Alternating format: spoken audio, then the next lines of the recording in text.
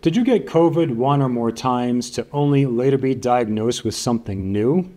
Perhaps depression or anxiety, perhaps an autoimmune disease, and quite possibly something gut related, diarrhea, constipation, SIBO, etc. Welcome to this update on COVID and the microbiome. What we have come to call long COVID is dismissed by many, but I'm here to tell you that it is very plausible that COVID drove significant change in your microbiome and thus change in your health. This could be particularly true if you were also given antibiotics for whatever reason during your COVID infection. In my initial COVID video, which I launched in April of 2024, I talked about how a number of illnesses, such as the flu, pneumonia, respiratory tract infections, and yes, COVID, have all been repeatedly shown to significantly alter the microbiome for the worse. And they have the same result the same opportunistic pathogens are increased and the same health promoters are decreased. So let's take a look at more recently published information which only serves to bolster everything I stated in my initial COVID video. Let's look at some of those bad and good bugs altered from COVID. From this newly published 2024 paper, we see here healthy controls versus those with COVID. I know there's a lot going on here, but the most obvious thing to jump out at you is that big increase in yellow for COVID, which is basically non existent in healthy controls.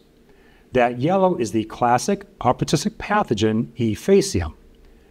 Viruses that affect the gut, like COVID, change the environment to one that favors the bad guys and reduces the good guys, like Roseburia, which is also significantly different between these two groups. These researchers also looked at the post COVID microbiome one and three months post acute COVID as shown here in C and D.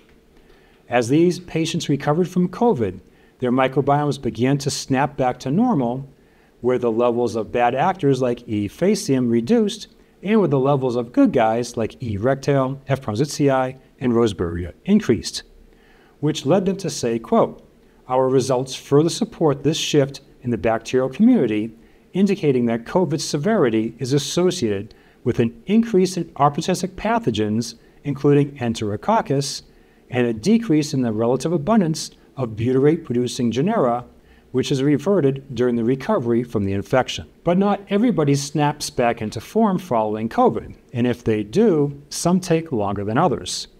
All information you can see in my COVID video from last April. Here we see the microbiome differences between long COVID and those who recovered. The good guys that get reduced tend to be the health promoting, butyrate producing bacteria. And again, if antibiotics were administered, then they too tend to kill off those butyrate producing bacteria, a bad one two punch. If you're familiar with my videos, I'm always talking about the many benefits of butyrate. And here we have a quote from these authors which states Butyrate has a crucial role in preventing the overgrowth of opportunistic pathogens sustaining the integrity of the intestinal mucosal barrier, stimulating the adaptive immune response, bolstering antiviral immunity, and even regulating the expression of angiotensin converting enzyme 2, crucial for the SARS CoV entry into the cell. I hope you're enjoying the video so far. Don't forget to like, subscribe, and recommend to friends and family. Also, if you're feeling extra generous, hit the super thanks below. When we look at my complete meta-analysis of human fecal microbiome studies in healthy controls versus COVID, we get this chart here from my April video. Green indicates significantly higher in the healthy controls, while orange significantly higher in COVID, a bad thing.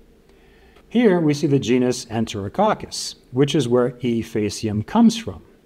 So the previous paper further reinforces the data I had already collected for COVID's negative effects on the microbiome. And what were some of those health promoting butyrate producing names we mentioned earlier? E. rectale, F. prausnitzii, and Roseburia. So this new study is very consistent with the previously published ones, reinforcing principles for not only COVID, but for many other diseases and conditions as these patterns hold true across the board. When we look at this new COVID severity study, we see much the same. I know this figure is impossible to read, but you can get it and read it on your own, or read the text to the left.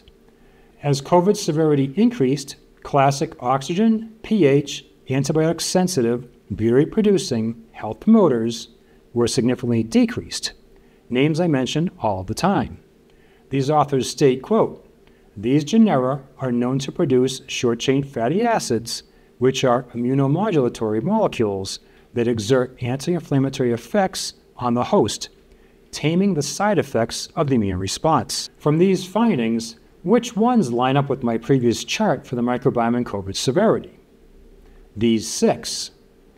Again, consistency in the microbiome data. So now that we looked at healthy controls versus COVID and COVID severity, let's look at long COVID. Here they are naming long COVID what they call PASC, post-acute sequelae of COVID. So when you see PSC in these tables and figures, think long COVID. They state that from 5 to 30% of COVID survivors suffer from post-COVID symptoms, hence this study. They looked at markers of gut permeability, aka leaky gut, and inflammation as it related to long COVID status. And what did they find? Well, long COVID was significantly associated with things you'd guess like smoking and obesity, but also things associated with the microbiome, such as zonulin. And a very interesting finding oxidized LDL. So let's talk about a very important principle. If you're familiar with my videos, you know the name zonulin by now. It plays a role in creating gut permeability. The more zonulin, the more permeability. See my video on gut permeability for more information. So here in these two figures, we see that those without COVID had the least amount of zonulin, while those with COVID, but not long COVID, had more zonulin. And those with long COVID had the most zonulin, aka gut permeability. So what does this imply?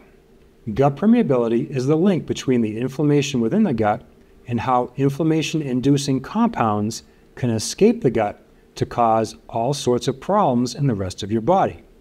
This is how things like autoimmune disease, depression, and anxiety are connected to your gut. Now, here, in the context of oxidized LDL, the principles are the same. These pro inflammatory compounds can drive inflammation and oxidation in the vasculature as well. For much more information, see my video entitled cardiovascular disease and the microbiome, oxidation, and inflammation. And here in Table 2, we see a significant connection between CRP, which is a nonspecific marker for systemic inflammation, zonulin, which we just covered, and another marker for gut permeability I often mention, LBP, which is LPS binding protein.